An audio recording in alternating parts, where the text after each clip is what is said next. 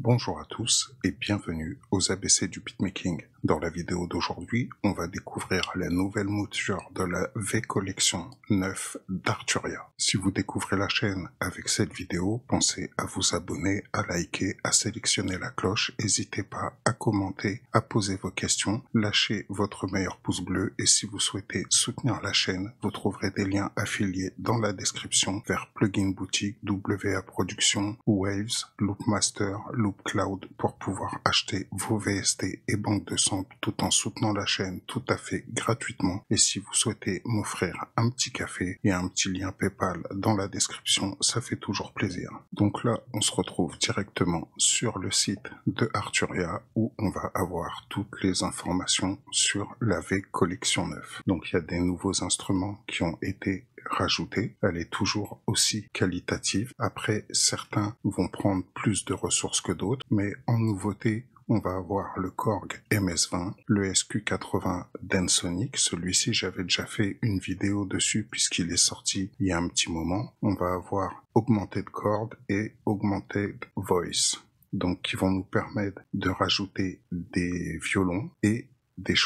Donc ce sont deux VST qui sont pas mal. Après, au niveau ressources processeurs, faut quand même le dire, ils prennent quand même pas mal de ressources processeurs, même si les sons sont d'une excellente qualité. Il y a largement de quoi faire avec, et c'est des instruments qui manquaient dans la V collection, puisque mis à part en utilisant les différents sampleurs de la collection, on n'avait pas forcément de réelle possibilité d'avoir tout ce qui est violon, cordes et euh, les choirs. Ensuite, il y a des instruments qui ont été mis à jour, comme le CS80 version 4, le Prophète 5 V, donc lui, il est vraiment terrible. Le Prophète VS, pareil, c'est euh, une petite dinguerie. Et enfin, le piano V3. Donc, dans la V collection, on a toujours le piano V2, mais en plus, on va avoir le piano V3 qui va nous apporter d'autres styles d'ambiance. Donc c'est vraiment relativement cool. La collection devient de plus en plus complète et on peut vraiment aller dans le détail au niveau des productions. En plus de ça, on va avoir un paquet de banques de sons qui vont être fournis directement avec, c'est-à-dire que ça va vous rajouter euh, des, des presets, que ça soit pour Analog Lab comme pour certains des VST de la V Collection. Il y en a pour tous les styles, hein, que ça soit de la techno, la lo-fi, euh, bref, il y a de quoi faire. On va avoir tous ces packs qui sont fournis directement avec la V Collection. Par contre, il va falloir les télécharger et les installer une fois que vous aurez fait votre mise à jour pour la V Collection. En ce qui concerne le prix de cette collection. Au niveau du prix de lancement, il est à 499 euros au lieu de 599. Donc là, vous avez euh, le nombre de jours qui vous reste pour bénéficier de la réduction de l'offre de lancement. Et si vous avez déjà une des anciennes versions de la V collection, vous allez pouvoir bénéficier d'une offre. Pour ça, il suffira d'aller directement sur votre compte Arturia. Donc maintenant, la collection est de plus en plus complète. C'est vraiment un pur kiff. On peut vraiment faire toutes sortes de sonorités. Je vous laisserai aller lire tous les détails directement sur le site. Les VST vont fonctionner au format VST2, AAU, AX, pour pouvoir travailler sur toutes les dos du marché. C'est compatible NKS naturellement pour avoir les écoutes des presets directement sur votre matériel euh, Native Instrument. Donc je vous laisserai aller lire tous les détails et voir si tout ça vous intéresse. Ce sont vraiment des outils d'une excellente qualité. Vous retrouverez aussi la petite promotion qu'il y a sur la V Collection 9 directement sur le site de Plugin Boutique et je vous mettrai un lien affilié directement dans la description si la collection vous intéresse. Après, comme je l'ai dit tout à l'heure, pour les gens qui ont déjà une ancienne version de la V Collection, Arturia va vous faire une offre directement sur votre compte. Il vous suffit de vous connecter et vous allez pouvoir bénéficier d'un prix pour vous mettre à jour. Maintenant, on va aller voir un peu ce que ça donne au niveau de la collection des nouveaux instruments directement dans Studio One. Donc on se retrouve dans Studio One où on va découvrir les nouveautés de la V Collection 9. Il y a plusieurs instruments comme on a vu sur le site qui ont été rajoutés et on va commencer par Augmented String. Donc déjà on va faire un petit tour de l'interface histoire de voir de quoi on parle et on va faire un tour du propriétaire. Donc en haut à gauche, comme d'habitude, on va avoir la possibilité de sauvegarder les presets, d'importer ou d'exporter des presets et banques de sons, de redimensionner l'interface du VST par rapport à la taille de votre écran. On va avoir l'accès au tutoriel, au Z et le About. Ensuite, l'icône d'après, on va avoir accès tout simplement à la banque de presets qui est euh, quand même relativement fourni. Il y a pas mal de choses qu'on peut utiliser. Les sons sont d'une relativement bonne qualité. Après, comme je le dis, il faut quand même le préciser, le VST consomme quand même pas mal de ressources.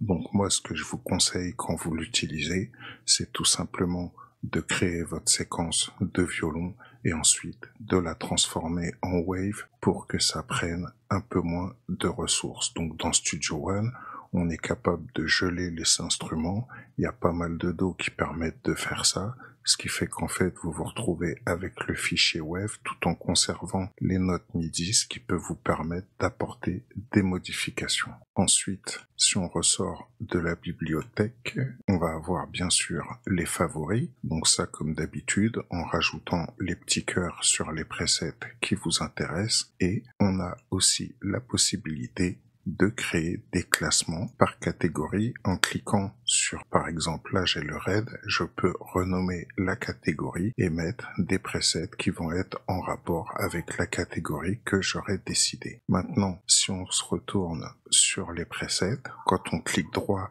sur un des presets, vous pouvez vous rendre compte qu'on peut faire quand même pas mal de catégories différentes. Donc ce qui est une très bonne chose pour pouvoir s'y retrouver au niveau preset. Là, je l'ai pas encore utilisé, mais c'est une bonne chose. Ensuite, on va avoir aussi accès aux presets directement avec un classement par style, bass, key, lead, organe, pad, séquence, sound effect, string, template et un preset vocal choix string. Après, on va avoir l'onglet Advance, on va y revenir après. Et ensuite, on a le potentiomètre de volume de sortie avec son vumètre.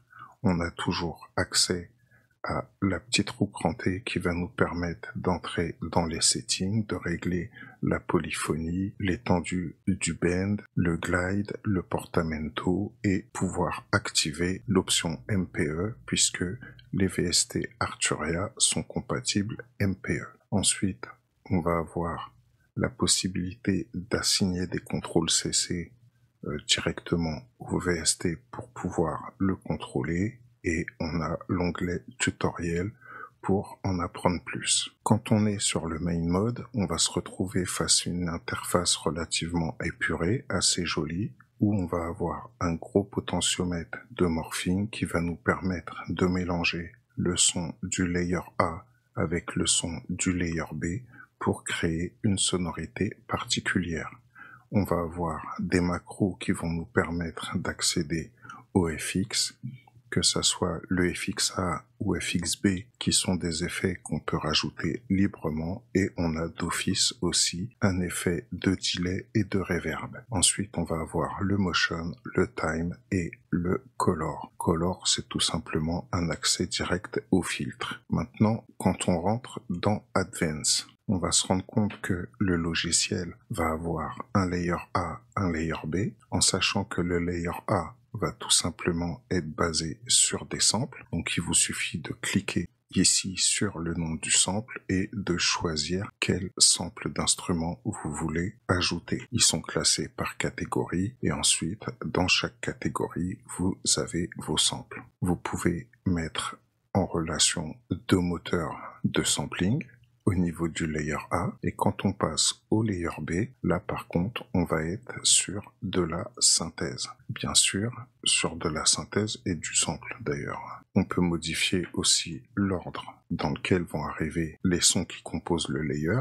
Au niveau synthèse, on va avoir des sons analogues, granulaires, harmoniques et table d'onde. Ensuite, au niveau sampler, on va pouvoir insérer les samples qu'il y a dans la bibliothèque et comme vous avez vu, on peut interchanger les moteurs audio entre le A et le B pour pouvoir créer les combinaisons qu'on a envie. Donc c'est assez cool, relativement puissant. Juste en dessous, on va avoir la partie filtre avec la possibilité de choisir que ce soit pour le filtre A comme le filtre B différents types de filtres et en dessous vous avez les paramètres de chacun des filtres et un interrupteur pour l'activer ou le désactiver. Ensuite, on va avoir les modulations. Alors, on va avoir de LFO. Ensuite, on a les fonctions. Ensuite, les randoms. Ensuite, ce qui concerne les claviers, donc Velocity, Aftertouch, Moodwell et Keyboard. On a un arpégiateur qu'on peut activer ou désactiver avec les différents types d'arpèges, la synchronisation, le swing, le nombre d'octaves sur lequel l'arpège va se déclencher et un mode corde pour les accords. Après, on va avoir les effets. Donc, on a les effets des layers A et B. On peut mettre deux effets sur chaque layer. Quand on choisit les effets qu'on peut utiliser, on va avoir des filtres multimode, équaliseur paramétrique, compresseur, distorsion, bit crusher, chorus, Juno chorus, stéréopan. Bref, il y a largement de quoi faire pour pouvoir créer d'excellentes ambiances. Sur chaque layer, on peut mettre deux effets et ensuite on a les main FX, donc le délai et la reverb avec quelques petits presets et vous pouvez sauvegarder les presets que vous allez créer. Donc c'est relativement complet, assez puissant. Et enfin, on va arriver au niveau des macros. Les macros vont vous permettre de régler certains paramètres de façon à ensuite pouvoir les commander directement avec les différents potentiomètres qu'on a sur la main page. Au niveau sonorité, on va s'en écouter quelques-uns. Donc ce que j'ai fait, j'ai créé une boucle de batterie à partir de mon émulateur 2 puisqu'il fait sampler. Donc faut pas oublier que dans la V collection maintenant on va avoir l'émulateur 2, on va avoir le CMI5 qui peut servir de sampler pour créer des drums, on va avoir le Mellotron qui va plus servir de sampler, mais cette fois, à partir de one shot ou de samples mélodiques, vous allez pouvoir les déclencher et créer vraiment une ambiance, euh, on va dire, lo-fi grâce au moteur de, de tape qu'on a sur le Mellotron. Donc, on est vraiment paré à toutes les situations. Donc au niveau du drum kit, ça va donner ceci.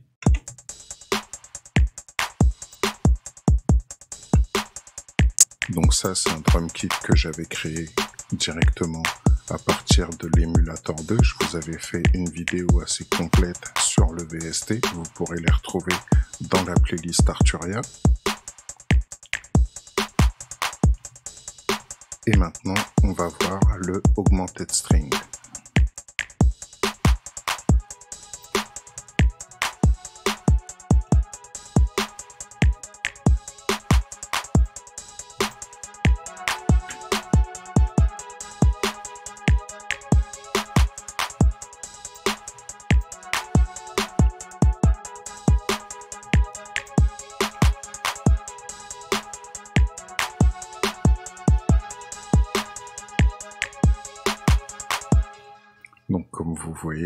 Faire des choses vraiment cool. Donc là, je suis dans les presets que j'aimais bien, on va s'en écouter quelques-uns.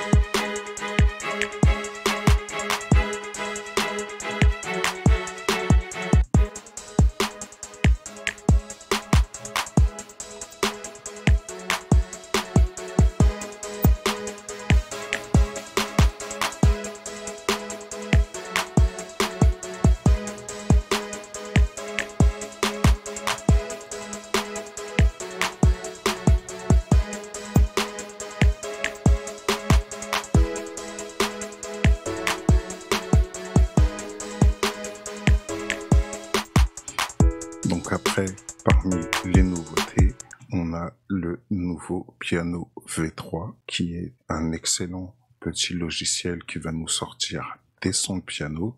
Donc si on fait un tour de l'interface, je vais pas revenir à chaque fois sur la partie ici, c'est tout le temps la même pour pouvoir redimensionner la taille du VST, etc. Au niveau de la bibliothèque, on va marcher exactement sur le même principe avec la possibilité de mettre des petits cœurs sur les banques que vous aimez. Faut savoir que quand vous prenez la V-collection complète, vous avez des packs qu'il vous faudra télécharger directement sur le site d'Arturia et ensuite de les installer, ce qui va vous apporter d'autres presets en plus. Donc c'est pour ça que là j'ai la Factory, j'ai euh, Piano Imaginarium et Platinum Piano. Donc après, ce piano-là va nous apporter des ambiances encore différentes du piano V2. On a toujours accès au piano V2 puisqu'il reste d'une excellente qualité. Moi personnellement, c'est un piano que j'aime bien, que ça soit le V2 comme le V3. On va s'écouter un peu tout ce que ça apporte. Alors après, pour ceux qui, comme moi, ont des microlabs, il y a un petit truc qui reste embêtant. Quand on allume la première fois le VST piano V3, on va avoir le réglage de la courbe de vélocité et suivant les claviers ou la sensibilité des claviers, ça peut être un peu chiant au niveau de la courbe de vélocité. Vous allez comprendre quand je vais changer de preset. Donc là, je remets en fonction la lecture. Donc quand on prend au niveau du modèle du piano, donc là, on va jouer sur les caractéristiques du piano, on va pouvoir jouer sur l'action au niveau du clavier, l'acoustique, les micros, les strings, donc ça comprend tout ce qui est des tunes, l'âge du piano, tout ça, les noises et enfin la courbe de vélocité. Ensuite, on va avoir des effets avec un équaliseur, compresseur, préampli qui va nous permettre aussi de rajouter de la distorsion et une reverb assez bien fournie au niveau type de reverb qu'on va pouvoir utiliser.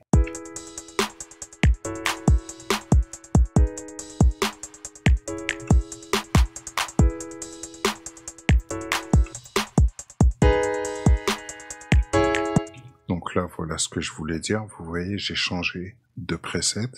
Et si je retourne directement sur modèle, moi, avec euh, ma façon un peu brute de jouer, bah, la courbe de preset, lorsque j'ai euh, voulu configurer mon clavier, ça a donné un truc un petit peu, euh, entre guillemets, violent.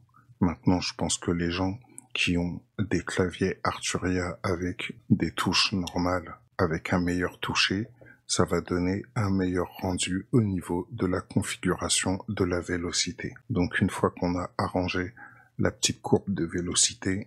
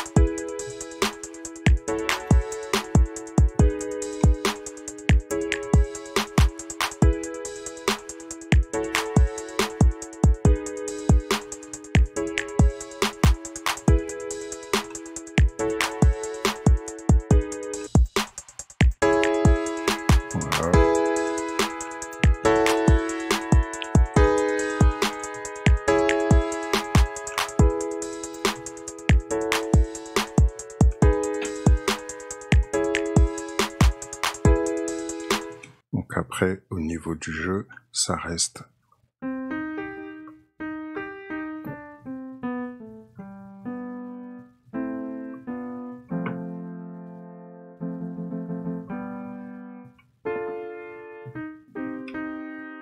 un excellent VST. Moi, je trouve qu'il a une très bonne qualité sonore. Donc, on va avoir 12 pianos différents et ça va nous donner ceci. Donc je vais recommencer, voilà, je suis sur l'American Grande.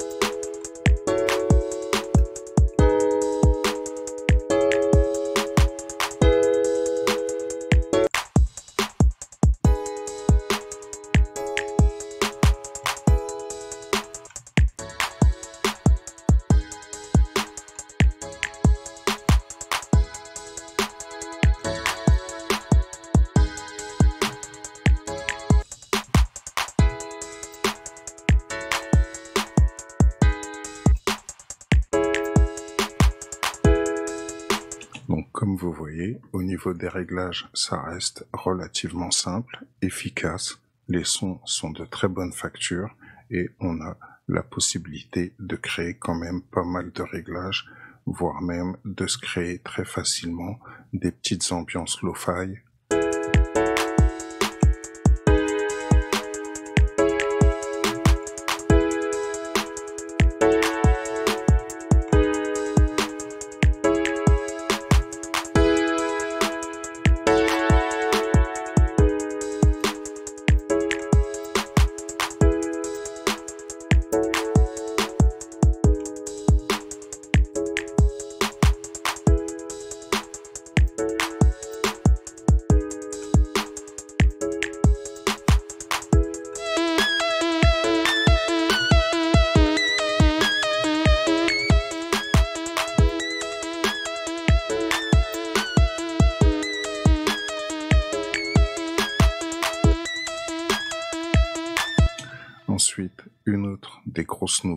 c'est tout simplement le MS-20 de Korg, qui est un excellent synthétiseur qui fait partie de l'histoire de la synthèse analogique. Et donc, on va avoir le main mode, donc qui nous rappelle vraiment euh, le MS-20. Et ensuite, à l'intérieur, on va avoir la partie séquenceur ici, qui va nous permettre d'apporter euh, donner du et apporter des modifications.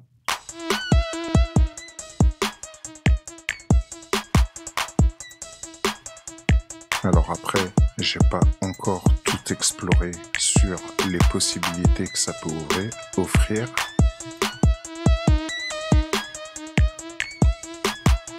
Mais il y a largement de quoi faire.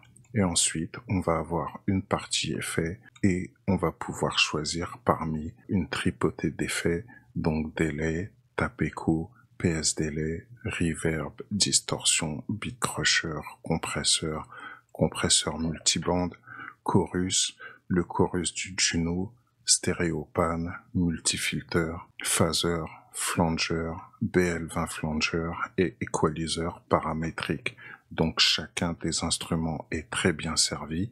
Bien sûr, on peut choisir d'utiliser les effets soit en série, soit en parallèle. Si on se met en parallèle, on va avoir les effets 1 et 3 qui vont être dans la même ligne et 2 et 4 qui vont être sur le même bus. Donc ça nous crée deux bus. Donc les impairs vont être sur le bus 1 et les paires sur le bus 2 et se diriger directement vers la sortie. Si on explore quelques petits presets, ça va nous donner ceci.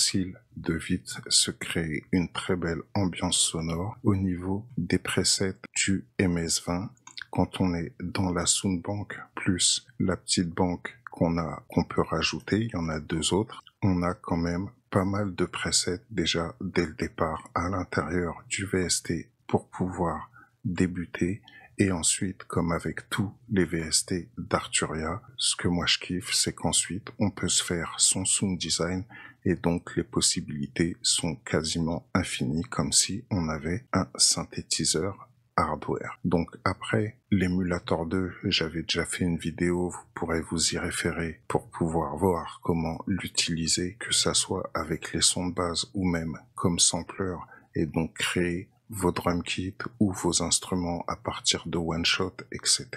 La nouveauté d'après, c'est tout simplement le Prophet 5 qui reste un synthétiseur de légende qui a été rajouté à la collection. Donc ce que je vais faire, je vais remuter, éteindre le Korg et je vais allumer le prophète. Donc là, pareil, on va avoir énormément de possibilités, sachant que on va avoir aussi un panneau Advance dans lequel on va pouvoir jouer sur les modulations. On a les LFO, les fonctions, les paramètres de keyboard et enfin les effets qu'on va pouvoir aussi utiliser soit en série, soit en parallèle. Voilà. Et à l'intérieur, on va avoir une tripotée d'effets comme d'habitude pour pouvoir faire un petit sound design aux petits oignons. Donc ensuite, si on s'écoute les différents presets qu'on va avoir, j'en ai sélectionné quelques-uns histoire de regarder ce que ça donne.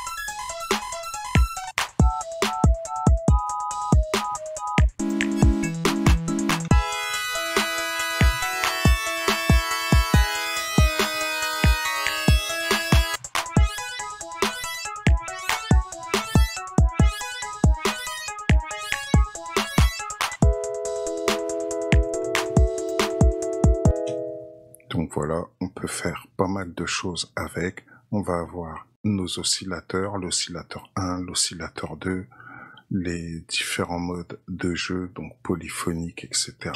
On a la section filtre, l'arpégiateur, bref, on peut faire énormément de choses avec ce synthé. Ça reste un modèle de légende que l'on peut utiliser à souhait et c'est un gros plus. Ensuite, on va avoir le Prophet VS. Donc ça aussi, c'est un excellent synthétiseur. Là, on part plus sur, euh, ça reste un modèle de légende, mais sur du digital, on va avoir des presets relativement intéressants. Avec l'Advance, on va pouvoir jouer sur les modulations, les filtres, les enveloppes, les modulations avec la matrice d'affectation, les fonctions, donc fonction 1, fonction 2, fonction 3, et enfin la partie effet. Et au niveau du son, ça va nous donner quelque chose comme ceci. Je vais le mettre en marche.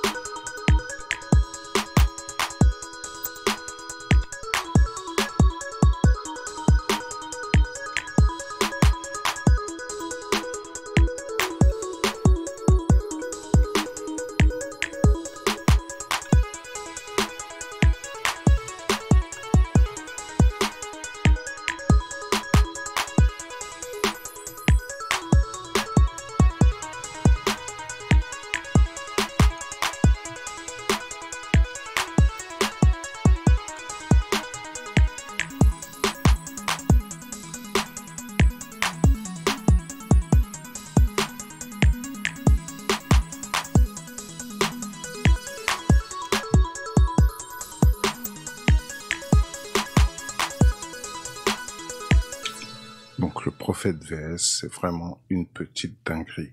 Qu'ils aient agrandi la famille des prophètes, pour moi, ça reste un gros plus sur ce type d'instrument, puisque maintenant, on a le Prophète 3, le Prophète 5, le Prophète VS, ce qui va nous permettre de créer toute une gamme de sons supplémentaires. Ensuite, bien entendu, on va avoir l'apport d'Analog Lab, puisque grâce à Analog Lab, on va pouvoir combiner tous les instruments de la V Collection, soit en utilisant les presets ou soit en faisant notre propre sound design.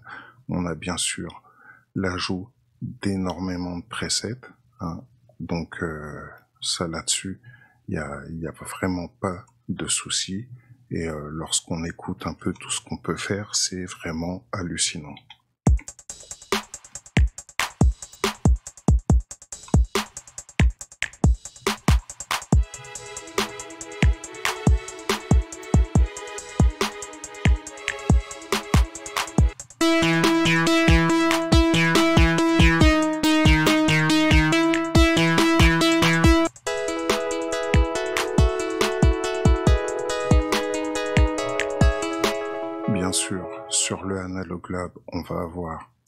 Effets que l'on peut mettre en effet A, effet B, plus notre délai et la reverb, ainsi que l'accès aux différents types de délais, aux différents types de reverb. On a vraiment de quoi faire pour personnaliser les sons. On peut mixer deux instruments les uns avec les autres. Il suffit de cliquer ici et de rajouter un autre instrument. Donc après, euh,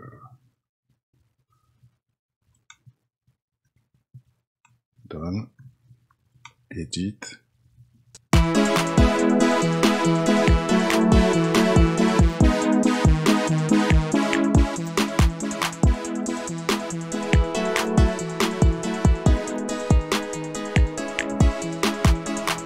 L'avantage d'Analog Lab lorsqu'on va avoir la V collection, ça va être aussi de pouvoir ouvrir chacun des instruments individuellement, ce qui va nous permettre de démultiplier tout simplement les possibilités d'Analog Lab puisqu'on se retrouve avec l'intégralité des presets et la possibilité de pouvoir faire un sound design complet de chacun des instruments de notre layer. Donc ça, c'est vraiment un gros avantage.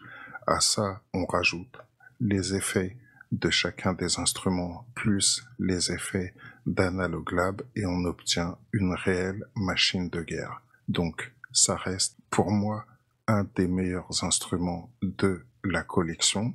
Ensuite, faut apprendre à le maîtriser. On a une quantité de presets qui est littéralement hallucinant, puisque si on se met dans le Home, on va avoir le classement directement par type d'instrument. Ensuite, donc que ça soit basse, key, lead, pad, piano, piano électrique, orgue, string, brass, drum, séquence vocale et euh, sound effect. Ensuite, on va avoir la possibilité de choisir directement les instruments qu'on a envie pour pouvoir créer son propre preset. Puis, on a la possibilité de choisir les presets tout simplement par éditeur suivant les concepteurs sonores qui ont créé les différentes banques de sons de ce VST. Donc on a largement de quoi faire et on a pour tous les styles. Moi je fais du hip-hop, ça me sert énormément. Ça va servir que ça soit en techno, en house, en EDM, en tout ce que vous voulez. On peut vraiment tout faire avec. Et pour finir, on va voir le Augmented Voice. Donc je vais pas revenir dans tous les détails de ce VST puisqu'il fonctionne sur le même principe que l'augmented string. Quand on va dans le advance, on va se retrouver pareil avec le layer A, le layer B, la possibilité de pouvoir layerer soit du synth, soit du sample, que ça soit sur le layer A ou le layer B. On peut interchanger les layers entre eux pour pouvoir euh, moduler le son vraiment ou créer le son qu'on a envie, c'est assez puissant et c'est vraiment bien fait. Au niveau des presets, on va s'écouter ça. C'est une chose qui manquait énormément. Tout ce qui était violon et choir au niveau de la V collection. Maintenant, c'est un manque qui a été comblé. On va pouvoir même se créer si on utilise les sampleurs encore d'autres presets particuliers que l'on pourra à l'intérieur d'Analog Lab modifié à volonté. C'est-à-dire qu'en fait, vous pouvez très bien prendre un augmented voice, vous le mettez dans Analog Lab et ensuite vous allez chercher un mélotron que vous allez rajouter dans Analog Lab. À l'intérieur du mélotron, comme je vous ai fait dans le tuto Mélotron, vous pouvez importer des choix de votre propre collection et vous créer des presets tout à fait particuliers. Au niveau son, on va voir ce que ça donne tout de suite. Je vais relancer le beat et on s'écoute ça.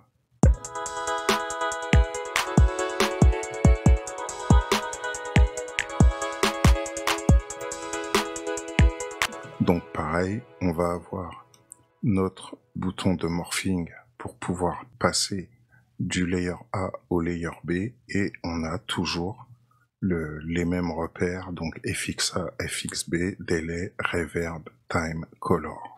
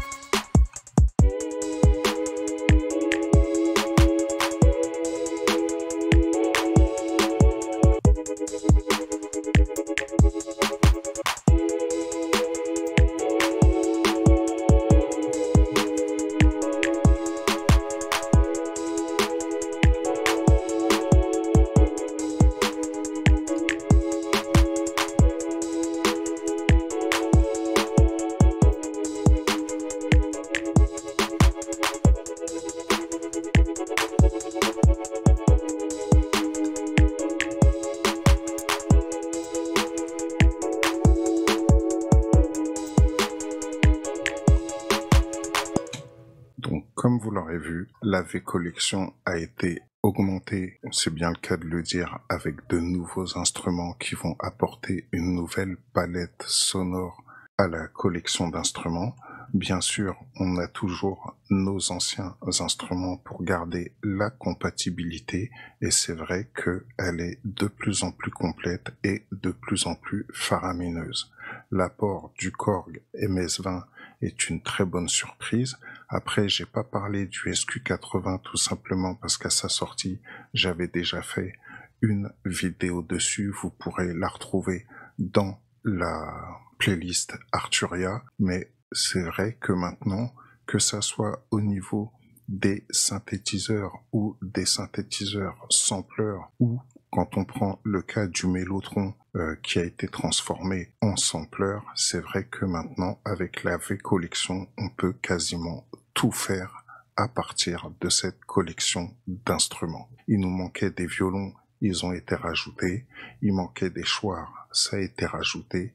Donc c'est vrai que c'est devenu un must-to-have et une collection relativement complète. Donc j'espère que cette présentation de la V Collection 9 d'Arturia vous aura plu. Comme vous avez vu, c'est vraiment un must-to-have.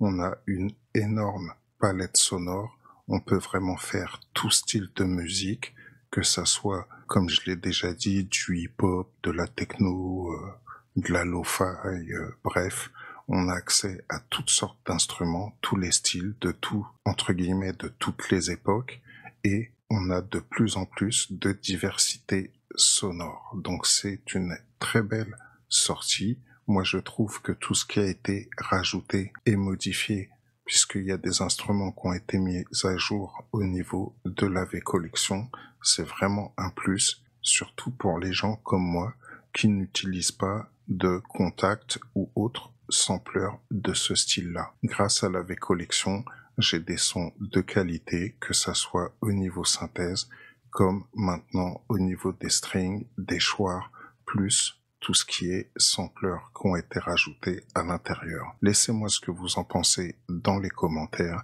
et je vous dis à bientôt pour un nouvel épisode des ABC du beatmaking. Salut, salut